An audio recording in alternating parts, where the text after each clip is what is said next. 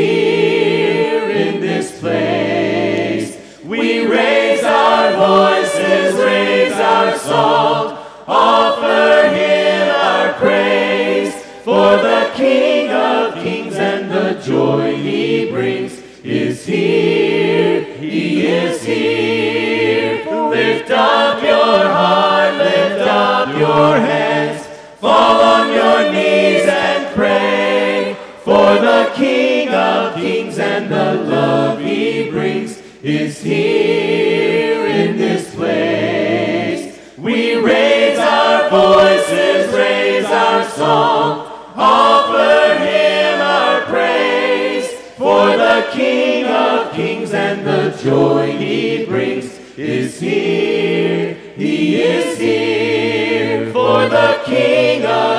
and the joy he brings is here, he is here.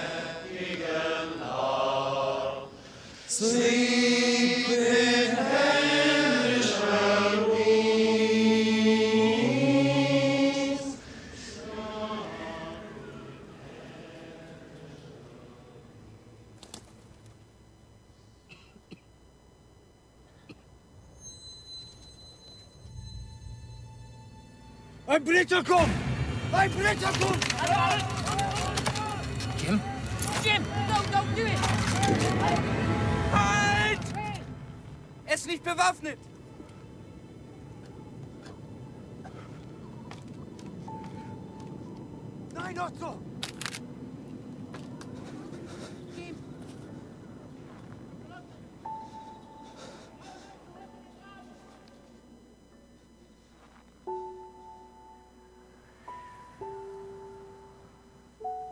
My name is Jim. My Name is Otto. Pleased to meet you, Otto. Freut mich. Rose, she's called. Um, it's schön. Um, it's schön.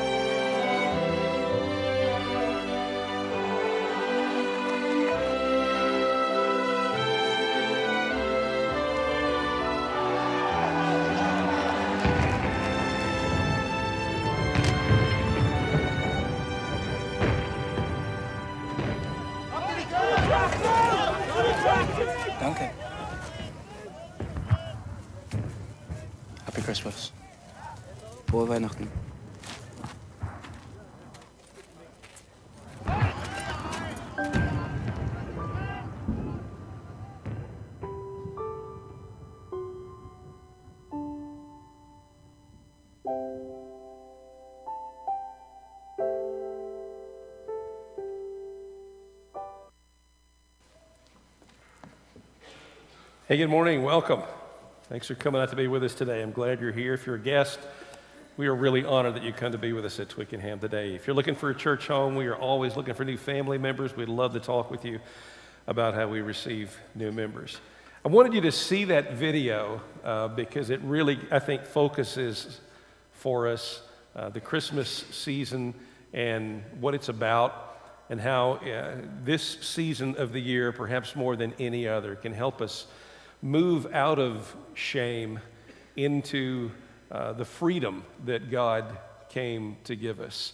Uh, in fact, throughout the, the holiday season, we're going to be having a lot of opportunities to, to share that news and that story, not just with each other, but with other folks as well. In fact, this particular video introduces a series we're going to be doing on Wednesday nights beginning on December 7th. It's called History is His Story. And we'll be looking at some, at some moments in history that, that happened around Christmas time uh, and what those moments in history tell us about Jesus and what he has done for us. Now, he removes the shame from us and invites us into his story. For example, uh, December 7th, we're going to wonder what it would have been like 18 days after Pearl Harbor, uh, Christmas 1941. What was it like? The next week, we'll, we'll, we'll talk about that incident right there, the 1914 Christmas Eve impromptu truce that happened in the trenches of World War I. And then the final week, we'll hear again the famous Christmas greeting from Apollo 8 that some of you probably know better than I do. So a, it'll be a good opportunity for you to invite friends to be with us on Wednesday nights. Then December 10th and 11th is our Christmas play. You can invite someone to be a part of that. And then every Sunday morning, we're going to be in a series called uh, Unexpected and Unexpected Christmas, and we'll be exploring the ways in which God surprises us. So, a lot of good opportunities for us to be a part of that. So, hey, that's unexpected.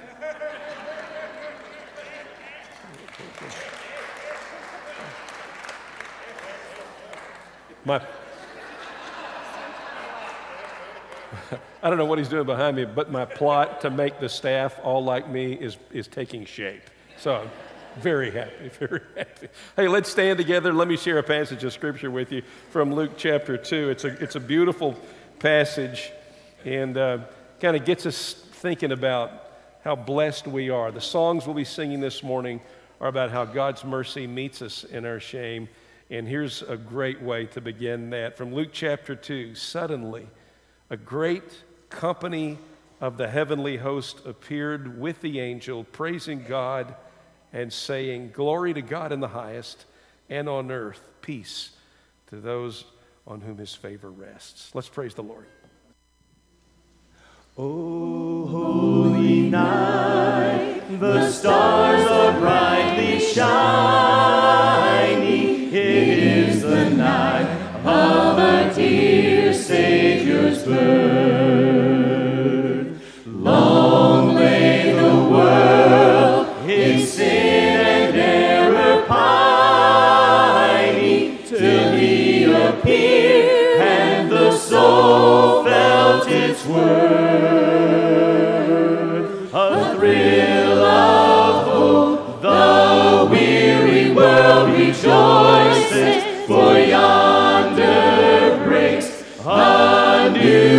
glorious Lord.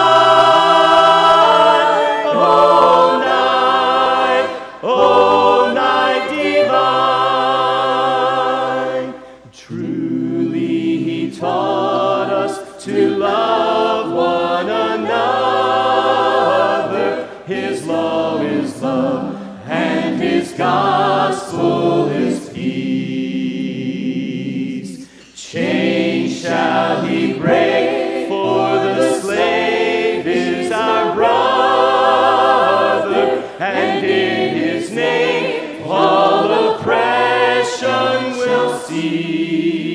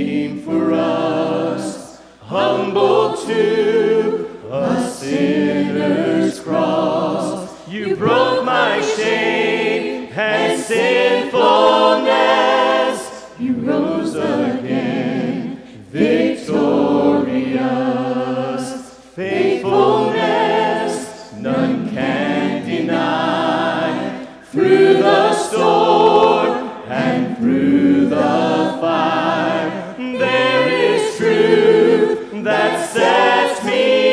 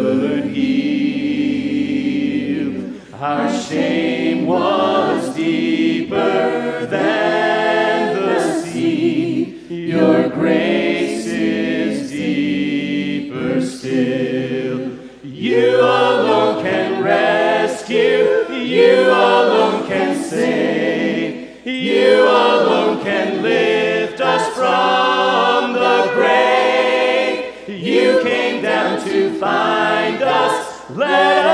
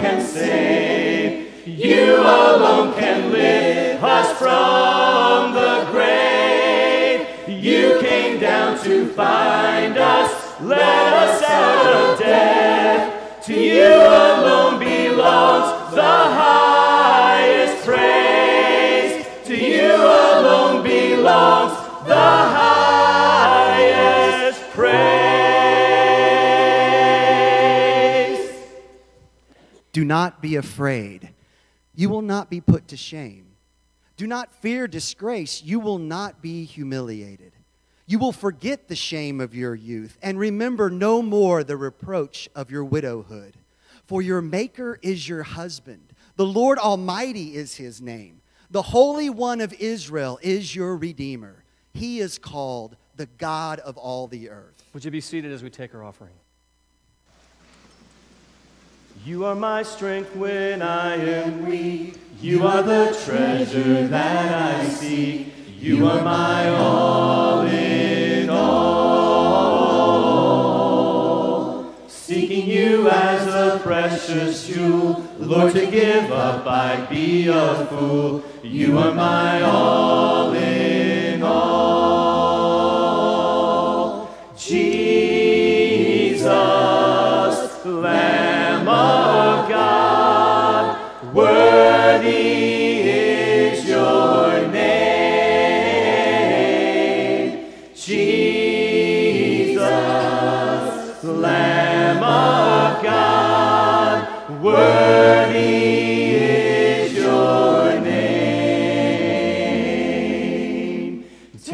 my sin, my cross, my shame, rising again, I bless your name.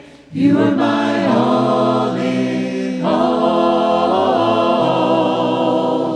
When I fall down, you pick me up. When I am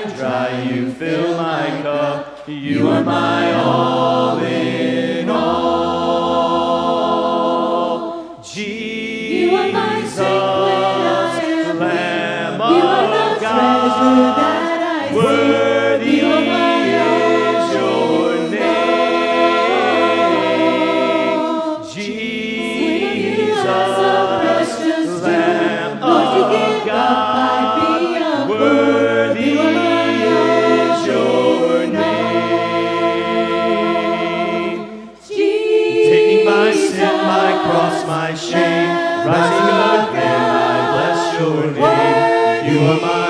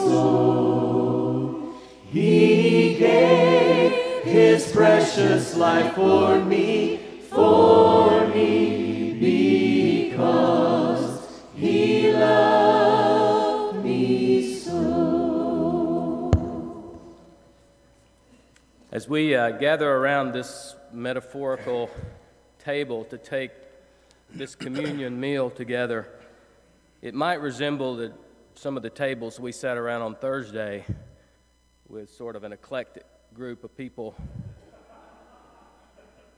maybe even a full on motley crew.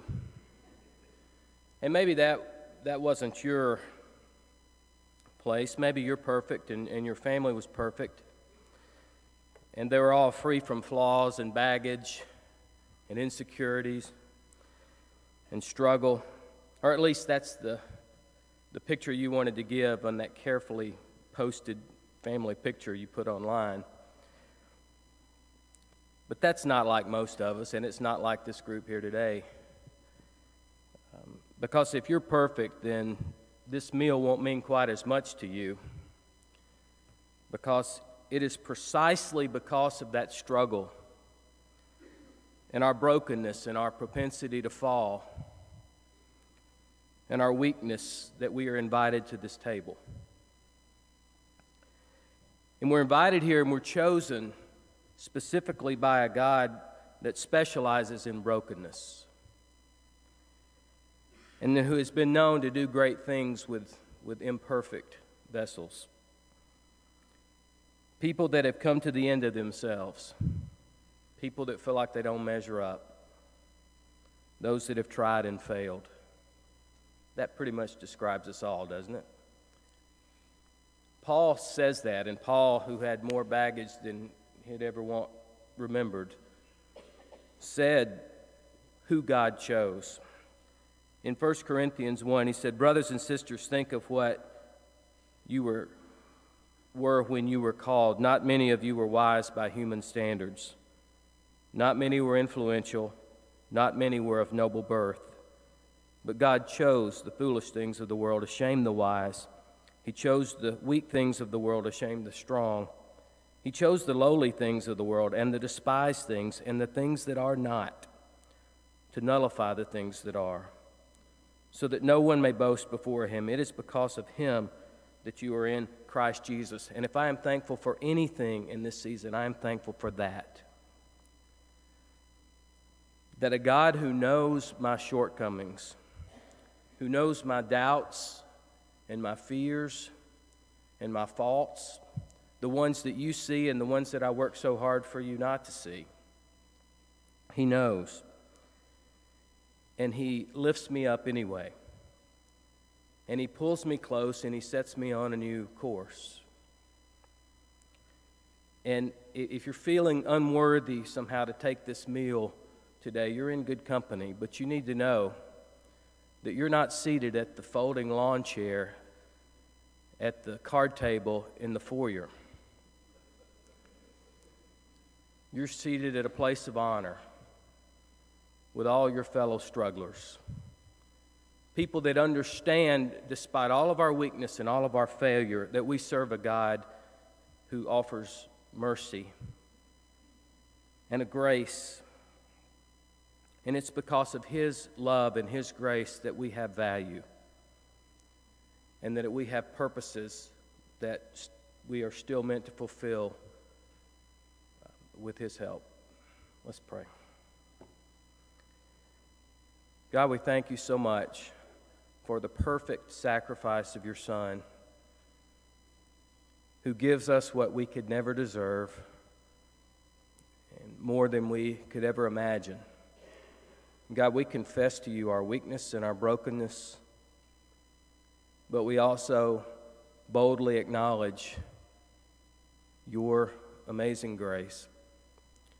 And in this moment, when we partake of this bread, which represents his body, we declare and we remember that that body was broken so that you could take our brokenness and do great things.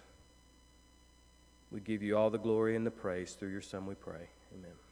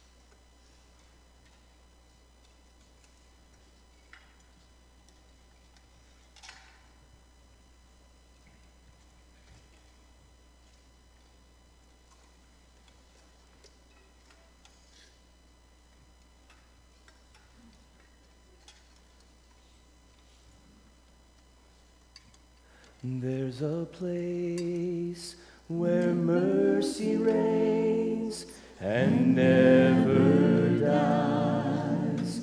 There's a place where streams of grace flow deep and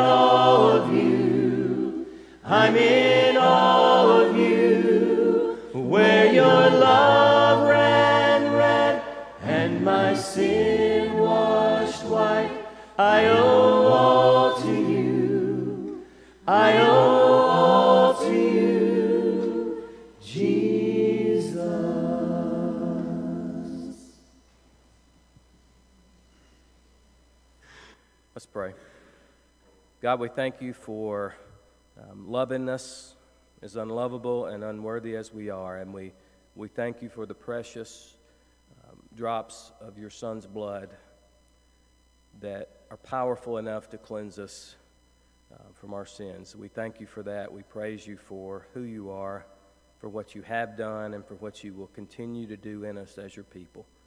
It's through Jesus we pray. Amen.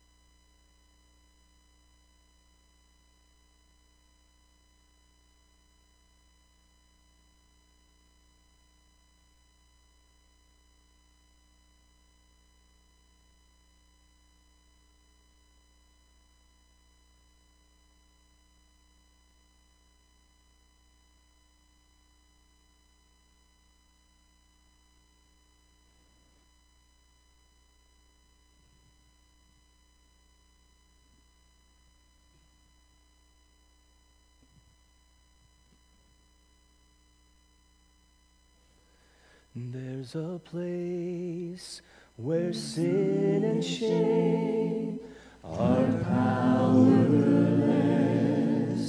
where my heart has peace with God and forgiveness,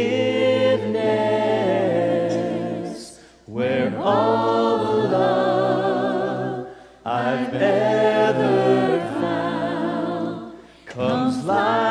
flood, comes flowing down. At the cross, at the cross, I surrender my life.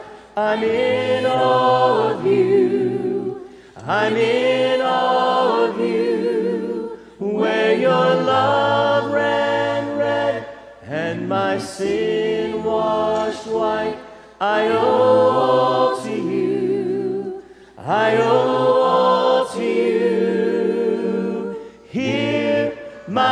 hope is found. Here on holy ground. Here I bow down. Here I bow down. Here arms open wide. Here you save my life. Here I bow down. Here I bow at the cross, at the cross. I surrender my life.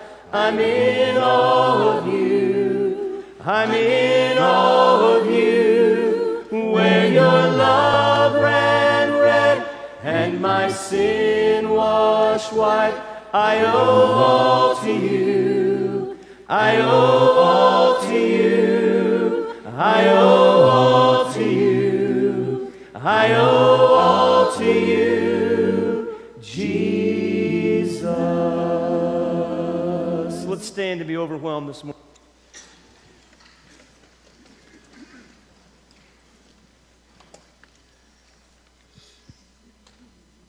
I see the work of your hands, galaxies spinning a heavenly dance. Oh God, all that you are is so overwhelming. I hear the sound of your voice.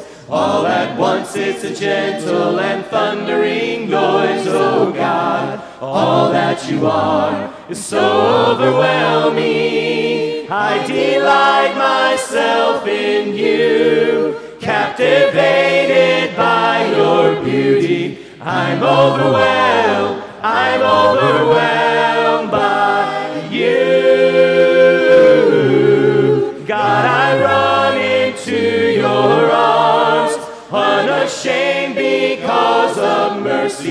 I'm overwhelmed, I'm overwhelmed by you. I know the power of your cross, forgiven and free. Forever you'll be my God. All that you've done is so overwhelming. I delight myself in you, in the glory of your presence. I'm overwhelmed, I'm overwhelmed by you.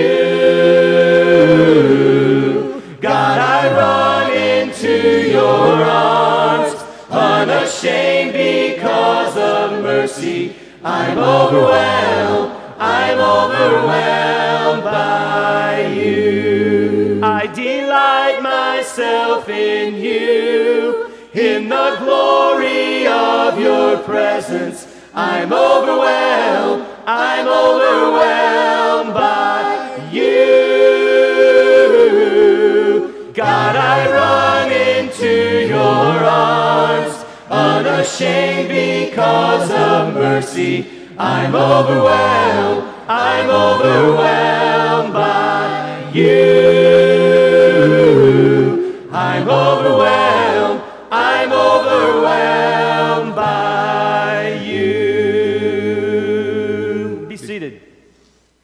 Hey, a couple of quick uh, program notes here before we get started. I want to introduce uh, somebody new to you. Um, this past week, uh, Nick Hurst was baptized into Jesus, and uh, he and his wife Dee are joining us here. Nick, would you and Dee stand up so we can recognize you? Glad you guys are here.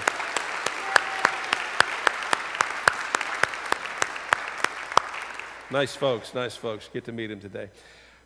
Uh, we told you about this uh, earlier this year. I think there's a bulletin article about it a week or so ago. We are about to begin some remodeling in this lobby right over here.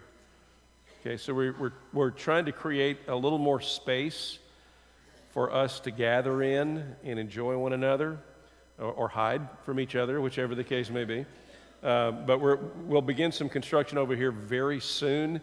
And just I want you to be aware of that. It's something that's been on the books for a long time, um, but we're gonna, we'll get started here pretty soon. Hopefully, we'll have that done. Mm, I'm, I'm thinking mid to late January, so Marchish. So, uh, before that. But anyway, just be aware of it. If, if we, with your children, just kind of keep an eye on them. Most of them are going to be over here anyway, but just be aware that we're doing that. In that interim, coffee will only be served downstairs, so that's where you'll need to go. When it's done, it's going to be nice, and we'll be have a little coffee bar over there. It'll be pretty cool. So, uh, let's see. There's one other thing that I need. Oh yeah, um, the Christmas decorations. Janet Campbell and uh, Leanne and Doug. Give them a hand. I appreciate their doing all that. So, it's my favorite time of year. I love this. So, they say that the first line, the first sentence in a book is the most important because that, that either will really capture the reader and draw them in or it'll, or it'll push them away. And, there are some authors that just nail it. I mean, they nail the first line. Uh, C.S. Lewis in The Voyage of the Dawn Treader, uh, there was a boy named Eustace Clarence Scrubb, and he almost deserved it. Hey, if your name is Eustace, no offense, right? Okay? So, shame on your parents. Uh, and then uh, uh, Ray Bradbury, one of my favorite books, Fahrenheit 451. If you guys have to read that, for read that. That's a really interesting book about censorship and all kind of stuff. And this reminds me of my grandmother. It was a pleasure to burn. Okay? My grandmother loved to set things on fire. She was a pyro. Uh, and then the, the master of, of sentence construction, Ernest Hemingway, he was an old man who fished alone in a skiff in the Gulf Stream and had gone 84 days now without taking a fish. Fabulous book. Some, some authors just really know how to begin a, a, a book, and then some authors don't just nail it, they, they kill the first sentence with a gun. Some are awful. Danielle Steel, never read one of her books. I have no idea which one this is from, but it's badly written. She wore a dress the same color as her eyes her father brought her from San Francisco.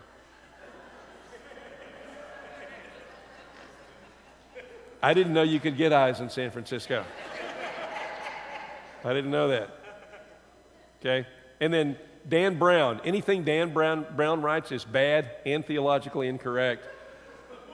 Five months ago, the kaleidoscope of power had been shaken, and Aringarosa was still reeling from the blow. I make a movie of stuff in my head, and so what I see is somebody shaking a kaleidoscope and then hitting a guy over the head with it. Just a badly written. Now, here's one more. Here's another poorly written introduction. This is the genealogy of Jesus, the Messiah, the son of David, the son of Abraham. Abraham was the father of Isaac, Isaac the father of Jacob, Jacob the father of Judah and his brothers, Judah the father of Perez, and Zerah, whose mother was Tamar. It goes on like that for 17 verses. That's Matthew chapter 1, 1 through 3. That's how the New Testament begins. Now, it's inspired, it's infallible, it's inerrant. And it's not a very exciting way to begin the greatest story ever told. And it's not like Matthew does not know how to construct a decent sentence. I mean, look at, look at chapter 1, verse 18. This is how the birth of Jesus, the Messiah, came about. His mother Mary was pledged to be married to Joseph, but before they came together, she was found to be pregnant by the Holy Spirit. That's a sentence. That's an awesome sentence. And I, I wonder why didn't Matthew start with that? I mean, you talk about drawing you in. That's got mystery and intrigue. So, why does Matthew begin the most spectacular, the most important, the greatest story ever told in the least expected, most unimpressive way. Well, given his intended audience, it actually makes sense why Matthew would begin in an unexpected way with a boring genealogy. He wanted to accomplish three things. First, he wanted to authenticate Jesus' membership in the Jewish nation. He wanted to confirm that Jesus was a son of Abraham. I mean, I'm, I'm sure it would never happen in our political context, but someone might have questioned whether Jesus was a citizen of Israel. So Matthew establishes that. Second, Matthew wanted to establish the fact that Jesus was a legitimate candidate for the throne, that, that he actually came from the line of David. And you understand that back in those days, in order to be a candidate of the, uh, of the throne of any nation, you, you had to have direct lineage from the original king. And so that, that Matthew wanted to establish that Jesus was not some pretender outside the family of David, that, that, that he might well be an Israelite, but if he didn't come from the line of David, he was not legitimate. So, so Matthew establishes that he does, in fact, come through the line of David. And then finally, and I actually think this is the most important reason that Matthew began this way. He wanted to connect Jesus and his story to the story of the creation.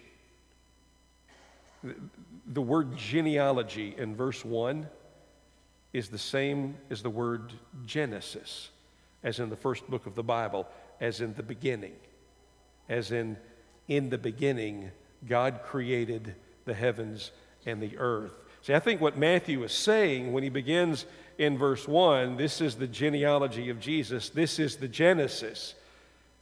I think he's, what he's saying is that this is as much a beginning as God's work in creation. This is Genesis 2.0.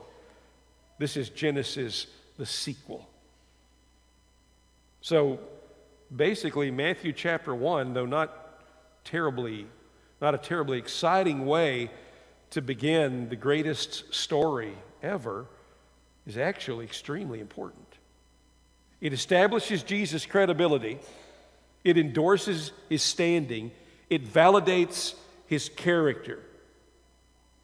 So then, why would Matthew unexpectedly highlight some of the most disreputable people in Israel's history in his genealogy of Jesus. I mean, when you read through that list in Matthew chapter 1 and you do a little homework on the stories behind the names, you discover some sketchy characters, some embarrassing scandals, and to tell you the truth, some extremely accomplished sinners. And at the very least, there are stories in this list that you think Matthew might have vetted out before he put them in and down on paper. For example, in the first six verses of Matthew chapter 1, he mentions four women. Now, it's not unheard of to include the names of mothers in a Jewish genealogy, so that's not what makes this unexpected. I mean, we, we would not have been surprised if, if he had mentioned Sarah and Rebekah and Rachel when he talked about Abraham, Isaac, and Jacob. That, that would have been normal. What's unexpected here is the women he does mention Tamar in verse 3, Rahab and Ruth in verse 5, and he doesn't name her, but he's talking about Bathsheba in verse 6. Their stories are not what you would want to highlight. You can read about Tamar in Genesis chapter 38. Now, it's a little complicated because her story involves some ancient cultural practices and ancient laws that had to do with the responsibility of um, a, a family to a daughter in law whose husband had died. Uh, so it, it's kind of complicated and it's really sordid. So let me just say it this way Tamar, in order to get her father in law, Judah, to do the right thing, Tamar deceived him by pretending to be uh, something she wasn't. Okay? So, and that deception worked, and nine months later, she had twin boys. You can, a lot of engineers in the room who can do math. So one plus one equals scandal, right? Rahab's story is in Joshua chapter 2. And Rahab was what Tamar pretended to be. Ruth has a whole book in the Old Testament. It's a beautiful story, and there's no scandal attached to her name or to her story whatsoever. She, it was just, she's a, a very um, strong, celebrated woman of faith, but she was not an Israelite. She was from Moab. Moab and Israel had a really on again, off again relationship, mostly off. Sometimes they were allies, most of the time they were enemies. The thing you need to know here is that, that Israel did not value diversity the way we do. I mean, these days, uh, uh, somebody running for office, and they've got a, a, a diverse background, they, they've got people in their background that hail from other countries or races or, or social groups, they're going to really, you know, celebrate that. As a part of their what makes them qualify. They're kind of they come from a diverse background. Back in, in the day, Israel would not have celebrated that. That would have been something you wanted to suppress. And yet, right here it is in, in Matthew chapter 1, bold as it can be. And then there's Uriah's wife, Bathsheba. Here's how her story starts in 2 Samuel chapter 11, verses 1 through 3. In the spring, at the time when kings go off to war, David sent Joab out with the king's men and the whole army of Israel. They destroyed the Ammonites and besieged Rabbah, but David remained in Jerusalem. One evening, David got up from his bed and walked around on the roof of his palace. And from the roof, he saw a woman bathing, and the woman was very beautiful. And David sent someone to find out about her. Even if you don't know the story, you know where that story's going. And then Leonard Cohen wrote a song about it. Three of the four women in the first six verses dredge up memories that Israel would just as soon forget, yet there they are. Unexpected. The men in Matthew's list, though, make the women look like so many Mother Teresas. There's Rehoboam, a man who did deserve the name he got. Verse 7 in Matthew chapter 1. He took the throne when his father Solomon died. During the transition period, and they all, you know, we, we're in one of those right now, right? Political transition, they were in one. During the transition period, a delegation from the 10 northern tribes came to Rehoboam and they said, Look, your dad has been really hard on us. I mean, what we would like for you to do is to sort of get rid of some of his executive orders and, and, maybe approach things a little differently. Solomon basically had drafted. How many of you guys were, how many of you, you, you folks in the room were drafted back in the day when we had the draft? I'm just curious to see this. How many were drafted? Okay, you were all volunteers. Wow. Back in those days, there weren't any volunteers. They were all drafted by Solomon to work on his um, royal projects. And we're not talking about infrastructure repair here, we're talking about building his palaces and sort of his resorts. And on top of drafting people to work, he taxed them very heavily. So the 10 northern tribes send a delegation to Rehoboam and say, Could you maybe ease up on some of that? Well, Rehoboam says, Give me three days and let me think about it. And he goes to some of his older counselors, and they say, You know what? If you will give these people a kind answer, they'll be yours forever. And he said, Okay. Then he went and asked some younger advisors, kind of the guys he went to college with. And they said, What you need to do is go back and say, We won. Get over it. And he liked that. So Rehoboam goes to the, the, the delegation and he says, My little finger is thicker than my father's waist. He scourged you with whips. I'll whip you with scorpions. Now get back to work. So the northern tribes seceded from the Union. Besides badly misreading the political situation, Rehoboam was a spiritual dumpster fire as a leader. Judah descended into moral, political, economic chaos under his reign. He was the, one of the worst rulers ever, and he's in Jesus' background. His son Abijah, mentioned in Matthew chapter 7, verse 1, was no better. 1 Kings chapter 15 says, He walked in the sins of his father before him. In other words, Abijah stepped in it just like his dad did. Asa started out strong, but ended poorly. When he was confronted by the prophet Hanani, he threw Hanani in jail. Jehoram, mentioned in verse 8, was so wicked, he murdered all of his brothers and anybody else that he considered a rival to his power. There are plenty of other names here in Matthew's list, many of them decent folks, some of them extraordinary people, but others as wicked as the few I just told you about. So let me ask it again. If Matthew is trying to establish Jesus' credentials, why are there so many awful, unexpected ancestors included in this genealogy? You ever, you ever seen that show, Finding Your Roots? It's a really interesting series.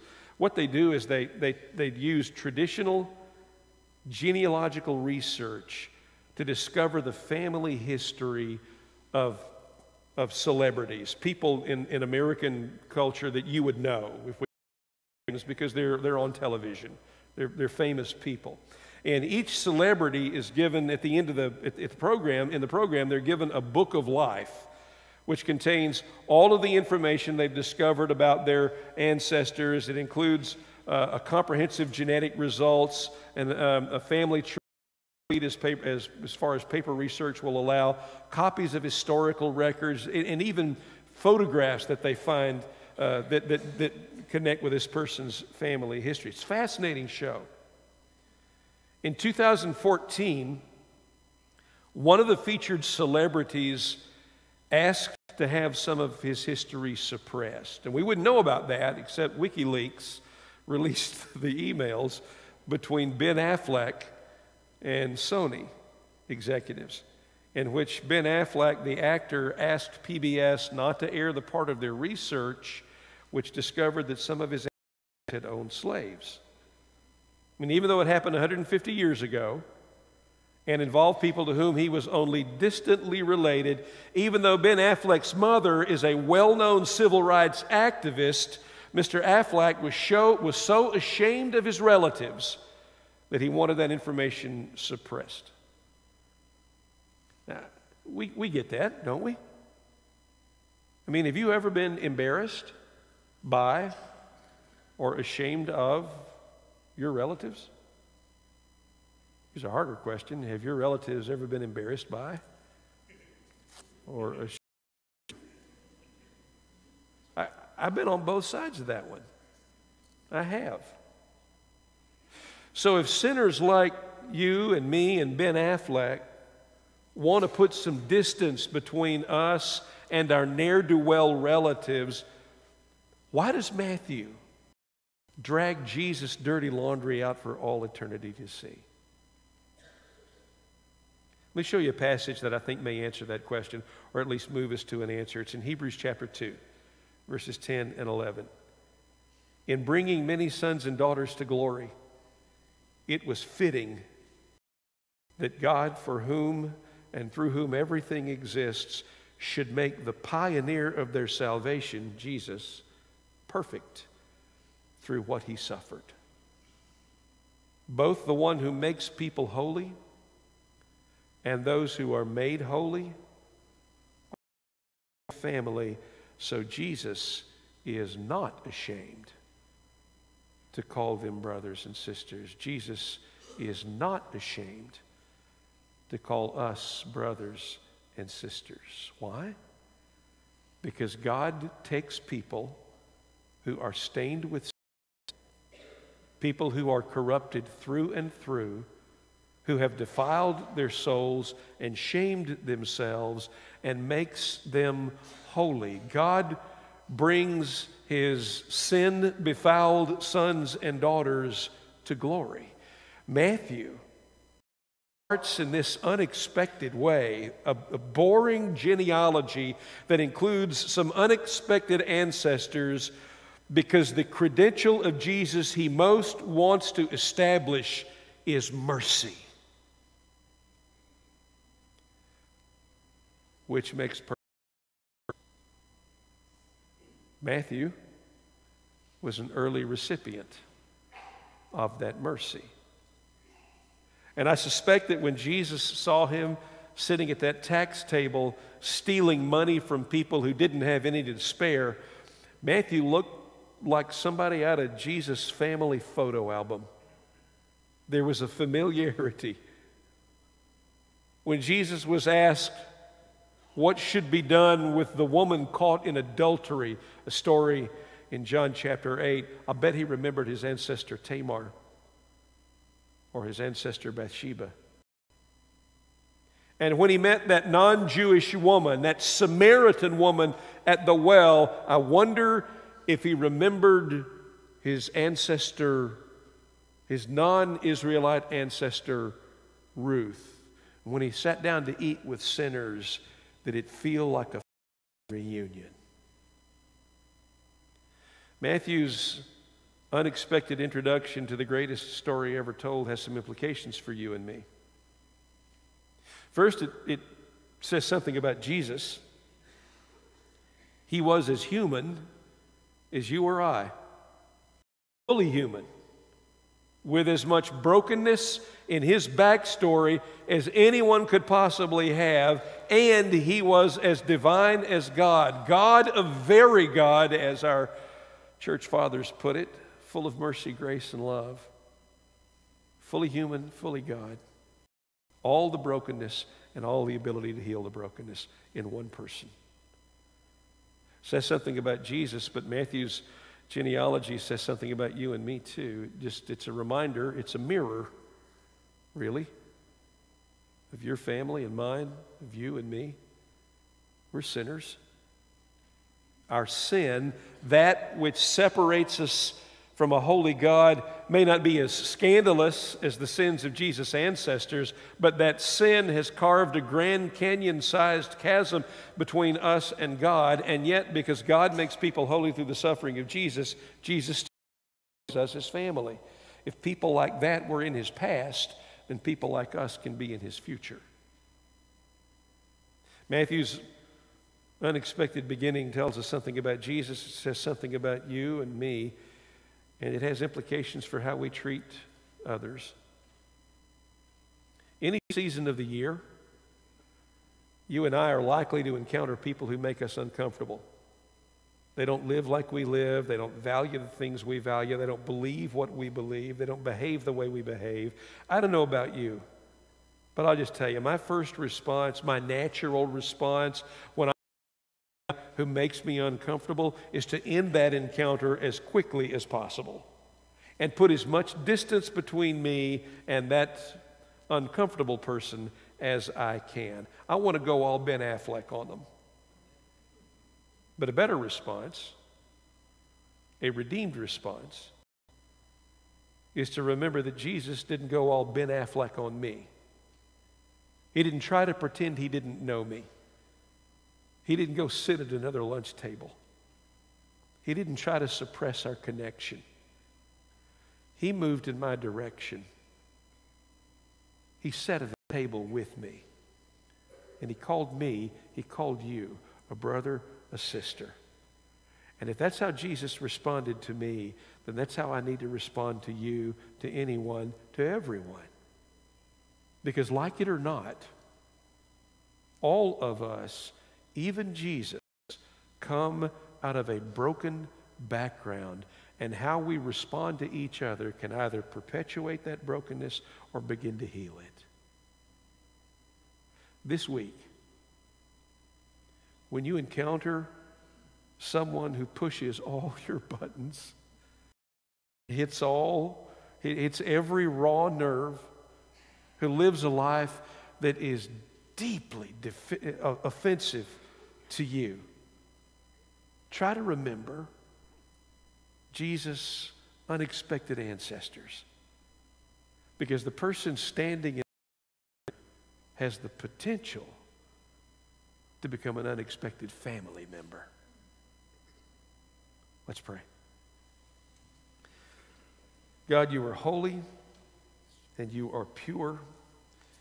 Your ways are so far above our ways, thoughts so far above our thoughts. It is remarkable that we can even speak to you and survive the encounter. And yet, we not only survive, we are invited to sit at your table and to enter into your throne room and to call you Father and to call Jesus brother. It is remarkable that you embrace us in this way. Thank you for being honest about the people who preceded Jesus and from whom he came in all of their mess and brokenness. We see ourselves and knowing that that was a part of his family then, gives us hope that we can be a part of his family now, even in all our mess and brokenness.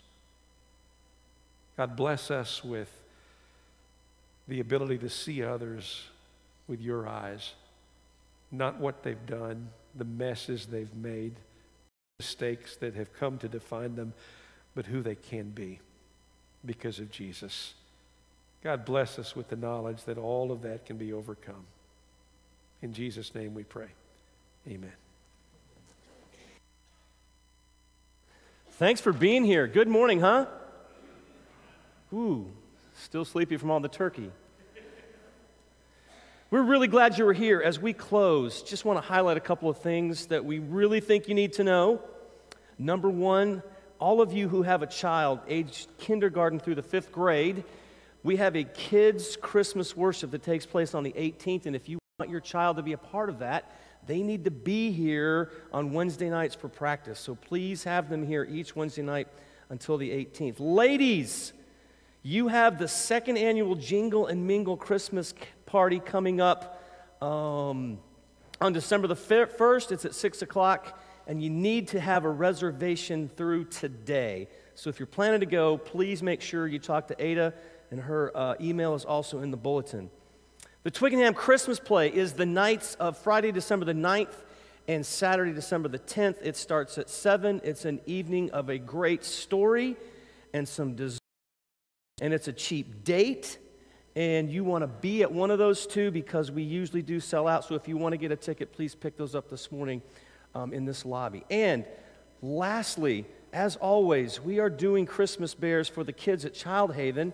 They are posted in all of the lobbies. You can pick one up. All you have to do is a check or cash for $25 in the card, sign the card, Merry Christmas, anything else you'd like to say.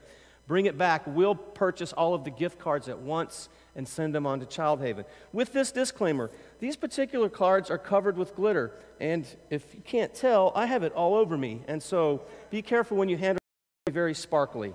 Thank you very much. Let's close by standing and singing our final song, We're More Than Conquerors, which says, We will not bow to sin or to shame. And we'll close in prayer.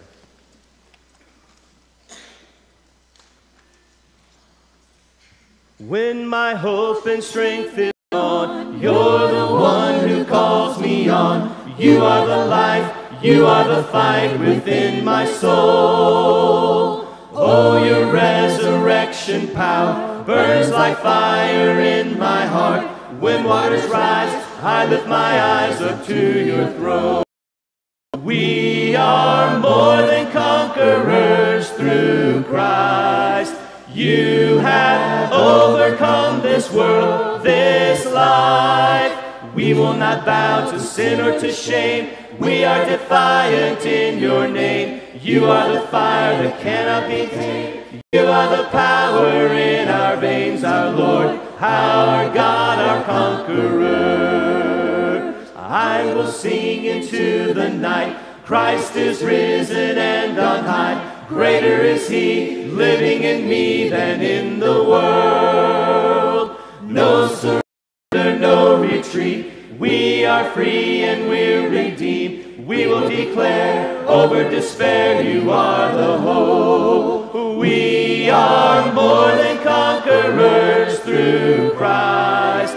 You have overcome this world, this life. We will not bow to sin or to shame. We are defiant in your name. You are the fire that cannot be tamed. You are the power in our veins, our Lord, our God, our conqueror.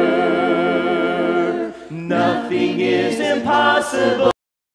Every chain is breakable with you. We are victorious. You are stronger than our hearts. You are greater than the dark with you. We are victorious.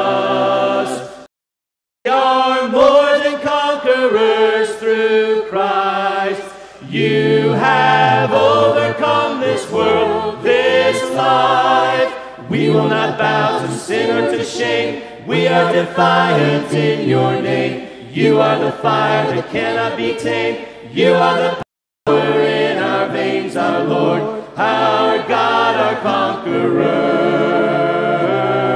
Our Lord, our God, our conqueror.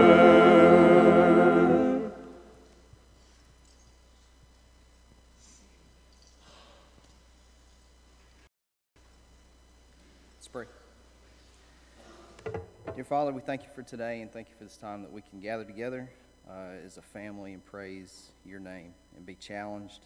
Uh, thank you for Jody and Lincoln and all the staff here at Twickenham and everything that they do, both for us as a church family and then for us as a community.